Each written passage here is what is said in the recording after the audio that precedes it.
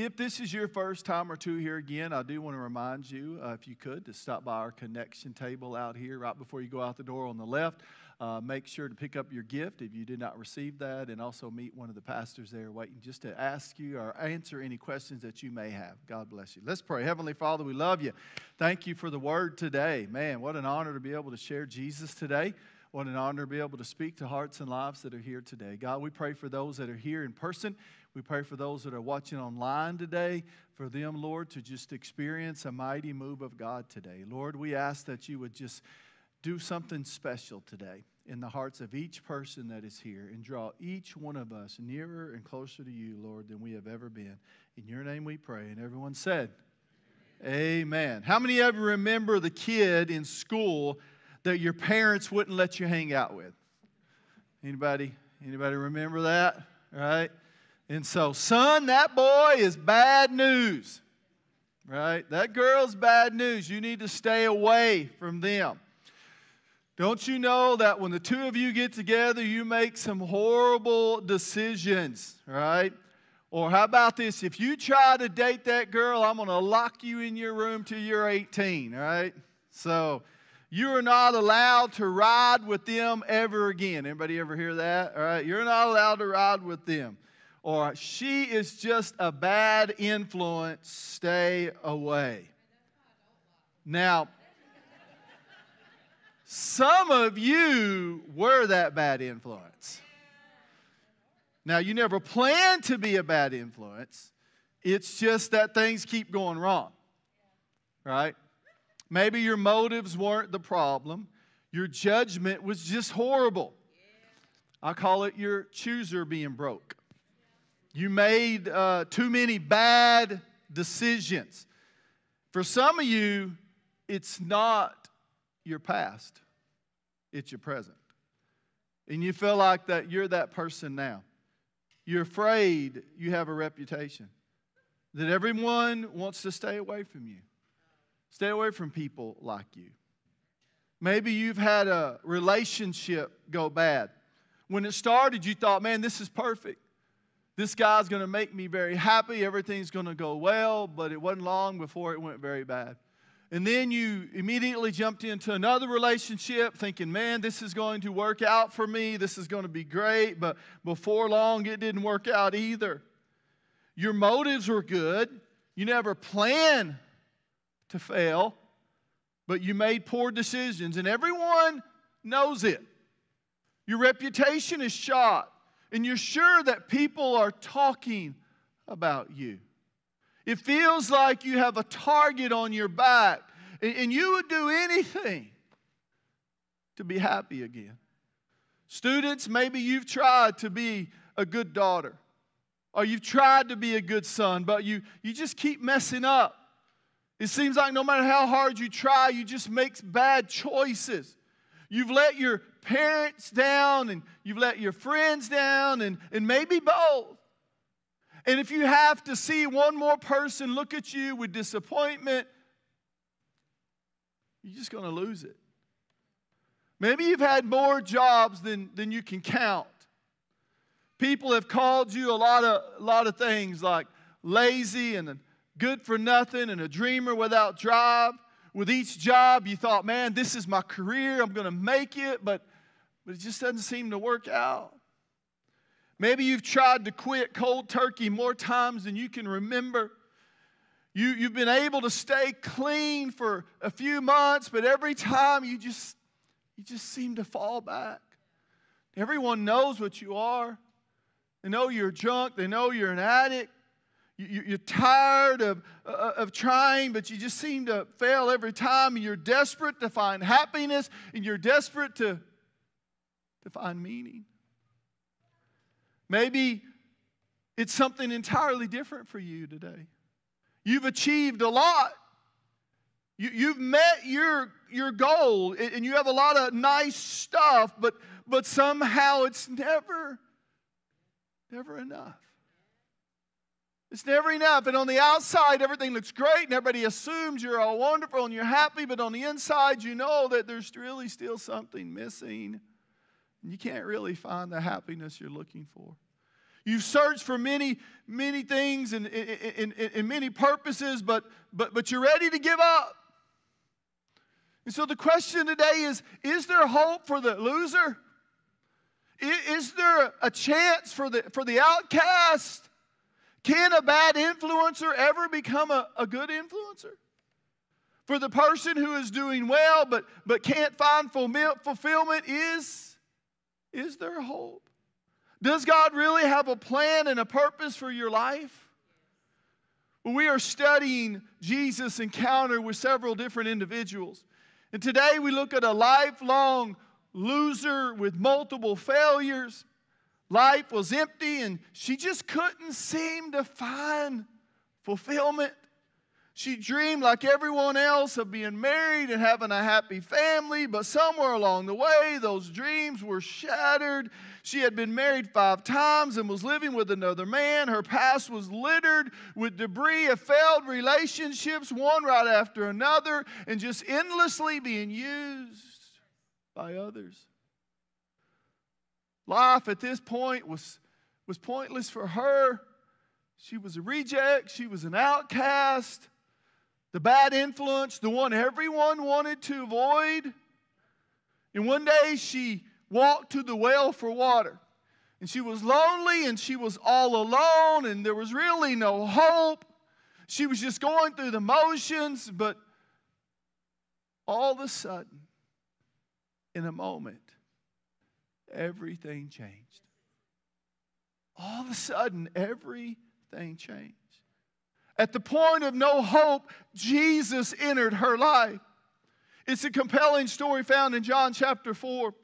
John chapter 4, verse 4 says, Now he, Jesus, had to go through Samaria. Now, that word had is a very important part of this story.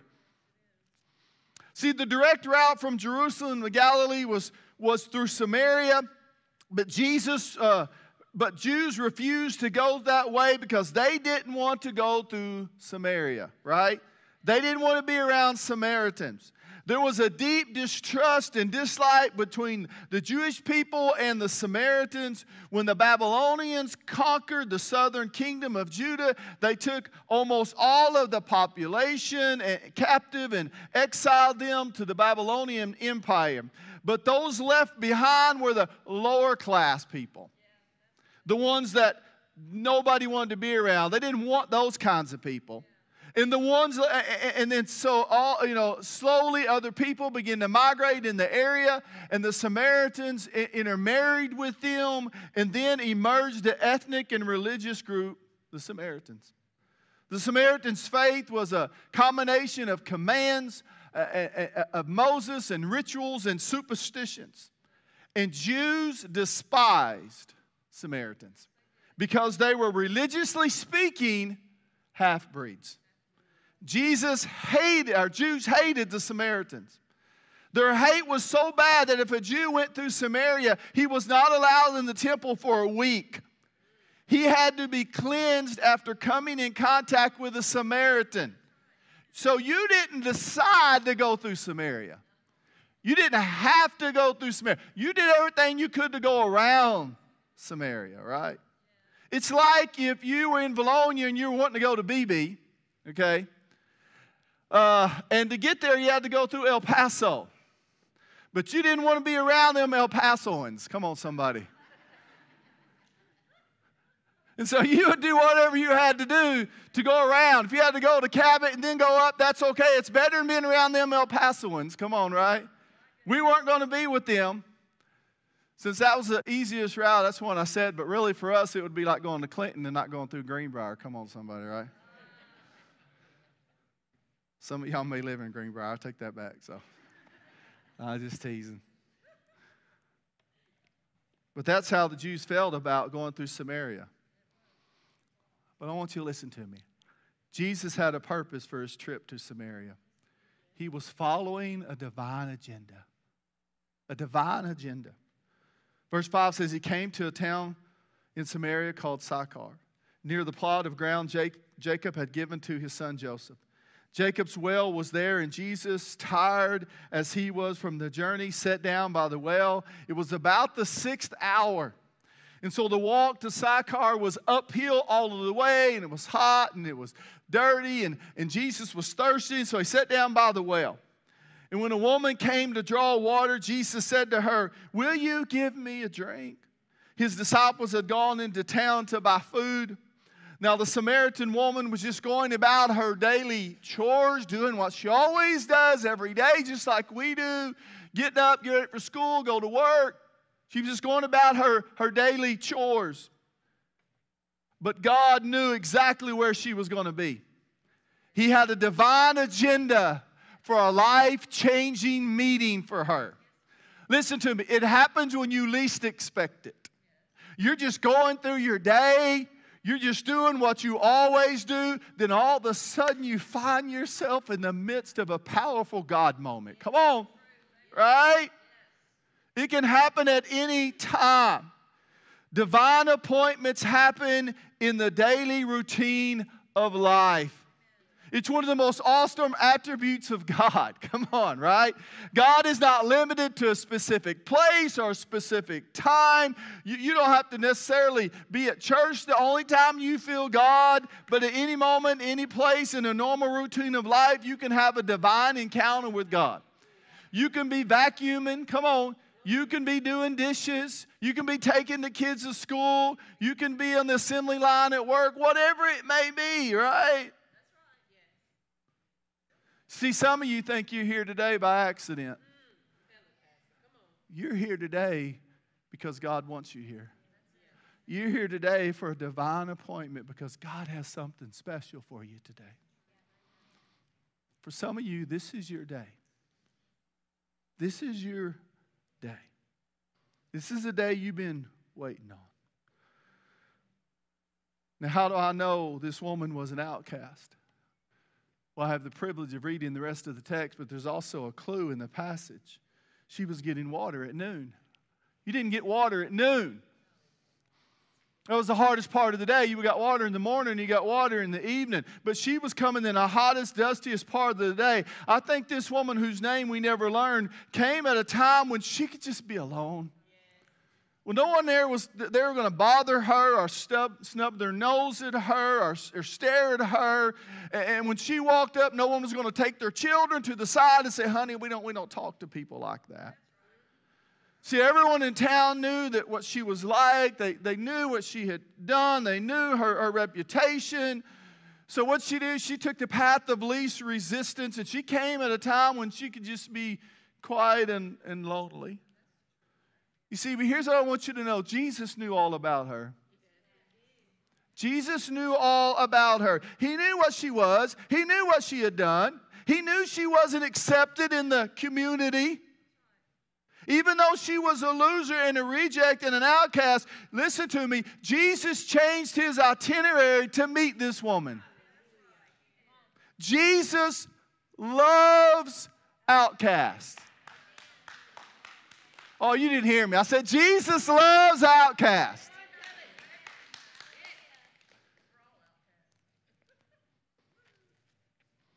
Aren't you glad that Jesus doesn't just love the rich and the famous and the successful and the honest, but Jesus also loves the outcast? Regardless of how many times you've messed up, regardless of how many times you've tried and you've failed, God loves you, right?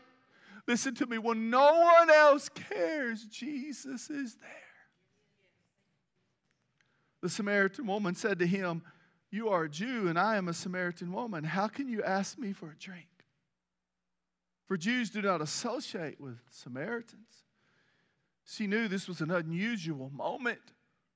She didn't talk to the Jews didn't talk to Samaritans, especially a Jewish man didn't talk to a Samaritan woman, but Jesus ignored the customary in order to show compassion. When Jesus saw the Samaritan woman alone at the well, he ignored the established, come on, tradition, and he established relationship. Listen to me, church. Jesus' priority has always been relationship It's not religion, it, it, it's, it's not going through motions, it's relationship with you. Jesus was, was not and Jesus is not prejudice. For God so loved the world that he sent his only Son that, what? Whosoever believeth in him. That whosoever includes the Samaritans, the Jews, the Gentiles, the blacks, the Asians, the whites, the Hispanics, and every other race of people on this planet. Amen? Every soul matters to God. A true follower of Jesus, listen to me, cannot be prejudiced. Every time you act in prejudice, you are devaluing a soul whom Christ died for. We cannot disqualify anyone from Jesus' love out of uh, uh, uh, his love or our love because of their race or their skin color or their background or their economic status or their social status, right? We must extend the same love and compassion that Jesus did. Amen. You know, we talk a lot about prejudice, but there are some of you in this room, you've been on the receiving side of prejudice. You've been the one left out. You've been the one made fun of. You, you found yourself hiding, come on, like the Samaritan. Well, I've got good news for you. Jesus meets you right where you're at. Isn't that awesome? Jesus meets you right where you're at. Jesus didn't send the disciples and say, Y'all go change this woman, then I'll meet her. No, Jesus meets you right where you're at. And we want to meet you right where you're at. Jesus defied all prejudice in order to reach this woman. The Samaritan woman said to him, You are a Jew, and I am a Samaritan woman. How can you ask me for a drink? Jesus answered her, if, if you knew the gift of God and who it is that asks you for a drink, you would have asked him, and he would have given you living water. Sir, the woman said, You have nothing to draw with, and the well is deep. Where can you get this living water? Are you greater than our father Jacob, who gives us the well and drank from it himself, and, and did also his sons and his flocks and his herds? So her, her answer was really a little sarcastic. Let's just be real here. Well, I don't know how you're going to get a drink. You're welcome to, but you don't got nothing to get water with. And are you greater than Jacob? Right? She completely missed it. She was talking about natural water, but Jesus was talking about something entirely different. She, since she didn't get it, Jesus said, Well, I'm just going to reveal the truth to her, right? Jesus is the living water who satisfies completely. When you meet Jesus, I'm gonna listen to listen to me, everything changes. You can't really meet Jesus and stay the same. You're gonna change. Now look at his answer. Jesus answered, Everyone who drinks this water will be thirsty again, but whosoever drinks the water I give him will never thirst. Indeed, the water I give him will be, become in him a spring of water welling up into eternal life. This woman said to him, Sir, well, I can just see her. Think about her situation. Think about her situation and all the reject. And she's saying, Sir, give me this water so that I won't get thirsty and have to keep coming here to draw water. See, now she understood.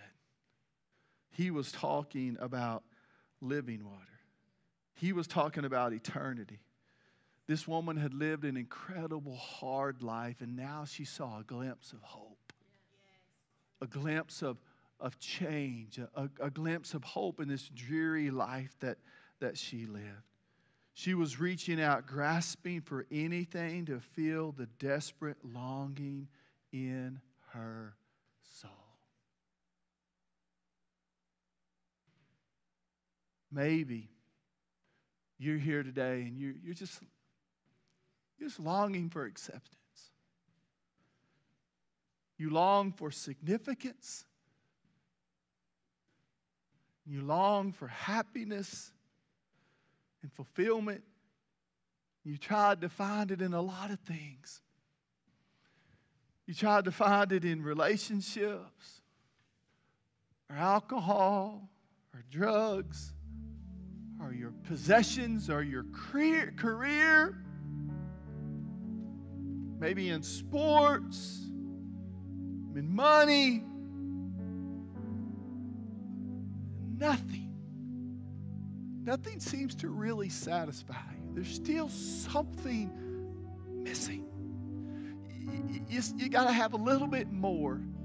You got to do a little bit more. You got to be a little bit more successful. You, you, you got to have another drink. You got to have another fix. You just, you just can't find satisfaction. Can I tell you, only Jesus, only Jesus can fill that thirst of life, that longing in your soul. all who are thirsty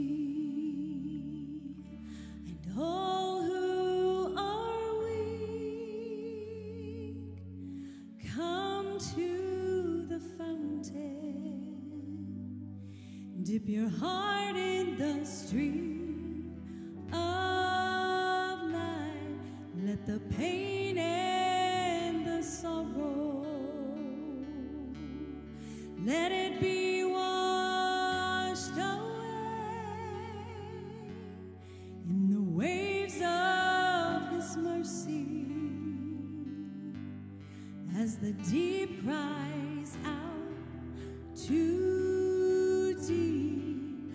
We sing,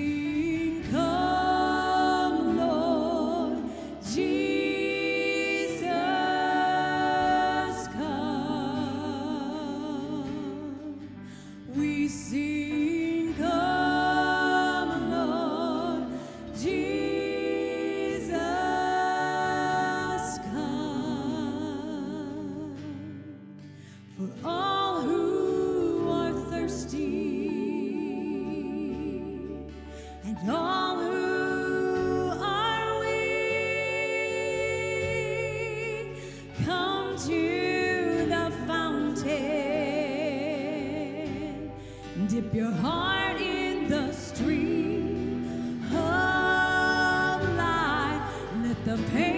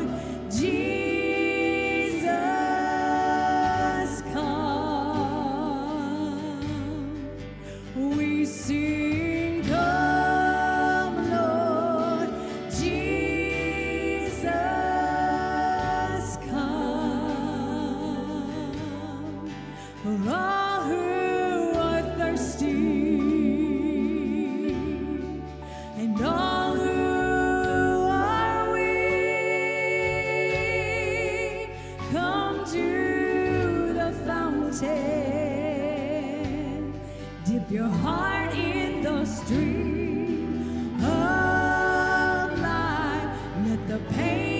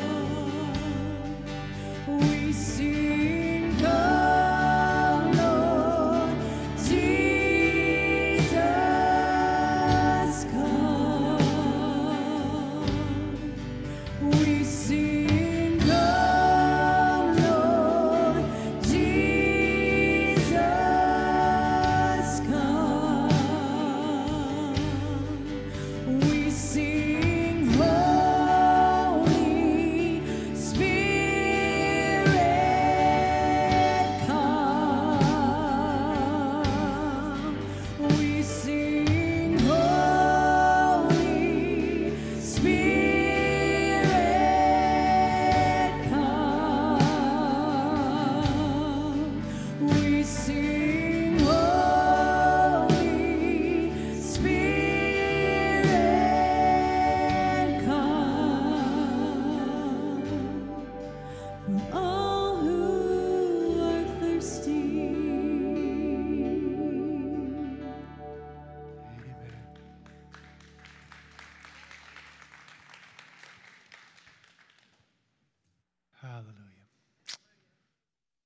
pray before we continue. Father, I just, I pray as we move forward today, you just prepare our hearts.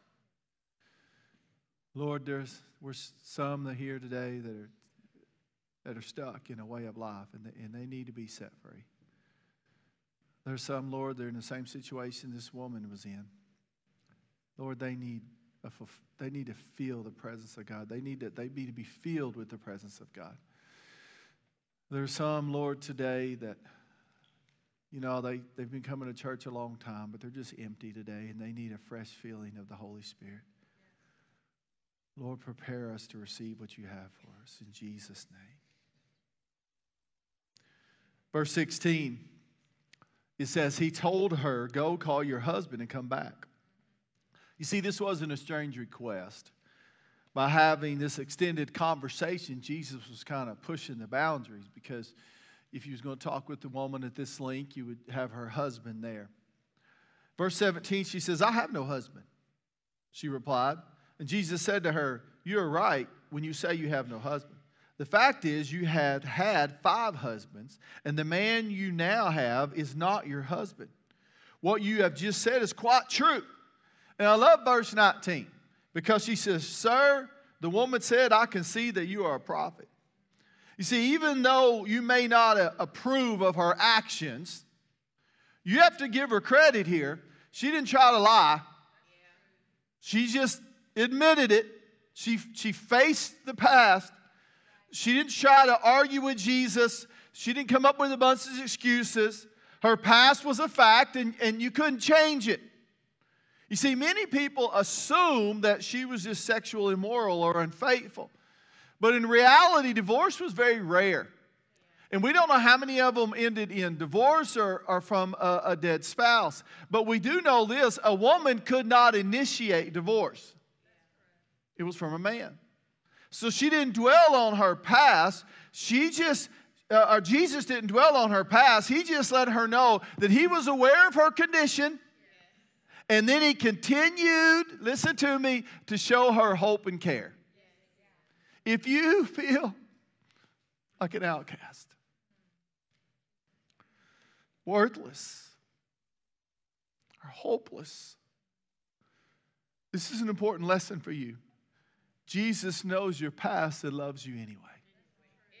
Your past is not a surprise to Jesus, right? He knows what you've done, He knows where you're at. He loves you in spite of that. Jesus, who didn't know this woman, knew everything about her. She said, I see you are a prophet. Our fathers worshiped on this mountain, but you Jews claim that the place where we must worship is in Jerusalem. You see, this was an ongoing theological debate between the Samaritans and the Jews. It was a, a big uh, a, a, a disagreement. But by his answer, it's obvious Jesus did not intend to, to follow in this debate. Jesus declared, Believe me, woman, a time is coming when you will worship the Father neither on this mountain nor in Jerusalem. You Samaritans worship what you do not know. We worship what we do know, for salvation is, for, is from the Jews. Yet a time is coming and has now come when true worshipers will worship the Father in spirit and in truth, for they are the kind of worshipers the Father seeks. God is spirit, and his worshipers must worship him in spirit and truth. And the woman said, Now I know the, the Messiah called Christ is coming. And when he comes, he will explain everything to us. Now, see, she still had hope. Now, it was a distant hope. She had already lost hope in this world, but, but she had read enough of the Old Testament that she knew there was hope coming, right? She knew that on that day her hurts would be healed and all of her emptiness would be fulfilled. And then, verse 26 says, Then Jesus declared, I who speak to you am He. I love this. Jesus revealed to a Samaritan, listen to me, with the disgraceful past that he was the Messiah. What a moment it must have been for this woman. Jesus announced, He's what she's been looking for. what she had been waiting on. Listen, when people have let you down, when there is nowhere to turn, when you're ready to give up on life, when happiness can't be found, Jesus is there. There's Jesus. Jesus is, I want you to listen to me. Jesus is not one of many answers. Jesus is not an answer. Jesus is the answer.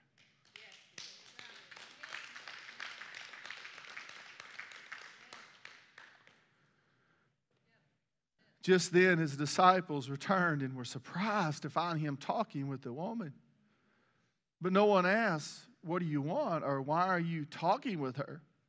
You see, the disciples walked up and found Jesus talking to a Samaritan woman. And the disciples, they weren't, they weren't happy to be in Samaria to begin with. And now Jesus is talking to another woman. And they just treated her like a piece of furniture. We don't see where they acknowledged her at all. They, they missed the moment and the point. Now, jump ahead with me a few verses. And as soon as the woman left, the disciples offered Jesus food. And then Jesus, Jesus said, I don't need your food. Now, in verse 30, 35, I don't know if Jesus got frustrated, but I kind of feel like he did here. What, what do you think? I think he got a little frustrated. He said, Do you not say four months more and then the harvest? I tell you, open your eyes, guys. Look around. See the field? It's ripe, it's harvest, it's ready.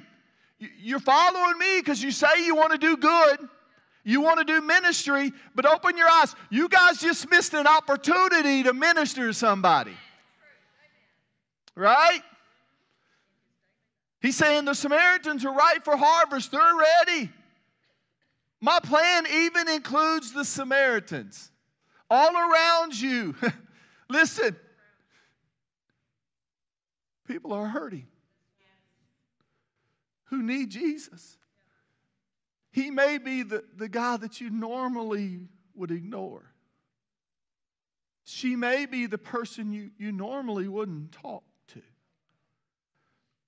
But can I tell you, they're ready to meet Jesus.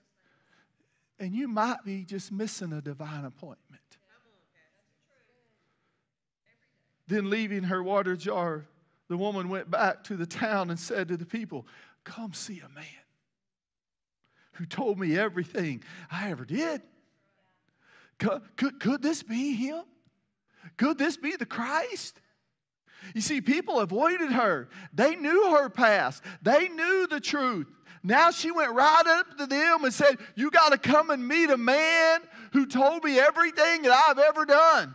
Come on. You've got to come and see him. You see, all the hurt and all the rejection and all the failure didn't matter anymore. Come on. She had to tell somebody what Jesus did. Amen.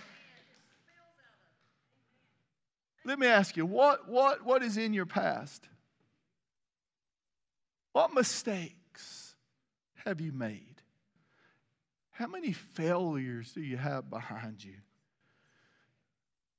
that you want to erase? Can I tell you, Jesus will do better than that? He'll turn your past into your testimony. He'll turn your past into your testimony. He will use your past to reach others. What is your past? Do you struggle with alcohol? Or drugs, addiction. You see, God can turn that around and make it a story that you can use to reach others for Jesus. Have you had a lot of failed relationships? And now you know Jesus. Me tell you. Jesus can take that unique situation you've been in and use it to minister people in unique ways. Yes. Were you a bitter, angry, hot tempered critic? Well, share your story how Jesus turned you around and made you an encourager. Amen. Were you a painfully shy introvert that was picked on and rejected? Share your story how Jesus has led you to your purpose. Amen. Listen, we don't celebrate the past, but we use it to point others to Jesus and how He can change their future. Amen. You see, this room is full of ex somethings. We're all ex somethings. We all have a past. We all have had failures, right?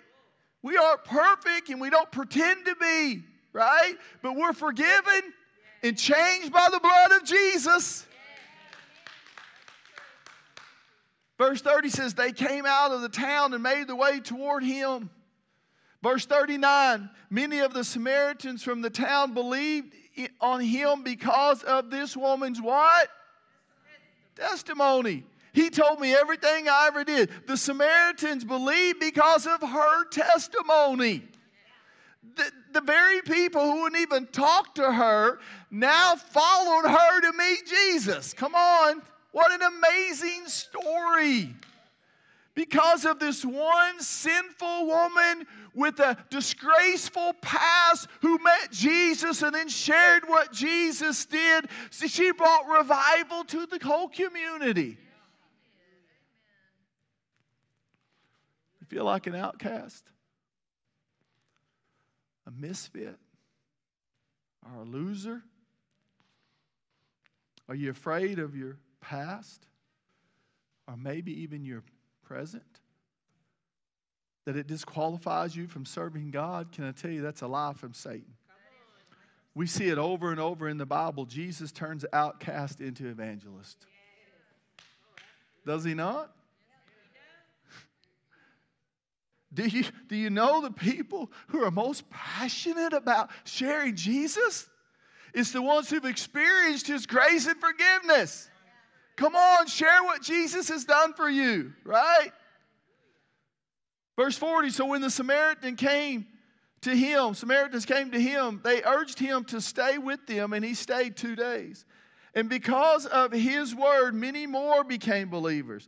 They said to the woman, We no longer believe just because of what you said. Now we have heard for ourselves, and we know that this man really is the Savior of the world. Amen? Now look at that. People are talking to this reject now. Come on. When she met Jesus, her life changed. She was no longer just a survivor. Come on. Now she had a purpose, and that purpose was to point others to Jesus. God's plan for your life is the same plan He had for her. He wants to deliver you, and then He wants you to share with others what Jesus did for you. Amen? a personal encounter with Jesus. When you have that, you're supposed to share and influence others. Amen. So, as we get ready to close, I want you to listen to me. Regardless of your past, regardless of your past, regardless of the obstacles stacked against you, Jesus is just available for you as he was a Samaritan woman.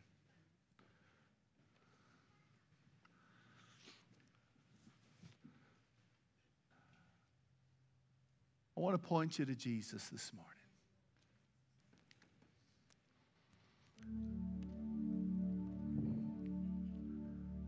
I want to point you to Jesus who fills the empty hearts I want to point you to Jesus, who is the living water. I want to point you to Jesus, who can take the place of all those broken relationships, of those empty careers. I want to point you to Jesus, who can take the place of the drugs and the alcohol and the sex. I want to point you to Jesus, who can take the place of your failures. Come unto me, all who are weary and heavy laden and I'll give you rest. So I want to pray for you today. If you feel disqualified because of your past, I want If you feel disqualified because of your present, I want to pray for you. If from the outside everything looks good and people think you're great, but but inside you're just you're not happy, you still feel empty. Or maybe you're here today and you say, you know, I don't really know much about what you're talking about, but I just know I need this Jesus you're talking about. I need Jesus. If you haven't been using your past to share Jesus, I want to pray with you. And if your present needs to become your past, I want to pray for you. So as they begin to sing this song and you stand to your feet,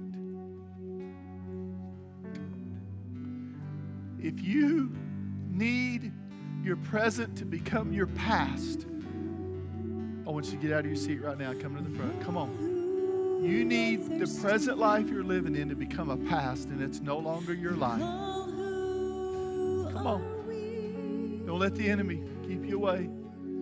If you're honest, you say, The way I'm living right now, is it right? And I need it to be my past, and I want to come to Jesus. If that's you, make your way to the front. Dip your heart in the. If you're here today and, and you say, I just, I just, I don't feel like I'm qualified. I don't think I can make a difference for Jesus. Jesus wants to touch you this morning. That's you. I want you to come to the front. If you're here this morning and you say, I got a pass, but I hadn't been sharing, I hadn't been sharing with others what Jesus has done for me, if that's you, I want you to come to the front. Come on, as I sing, if you need prayer for any reason,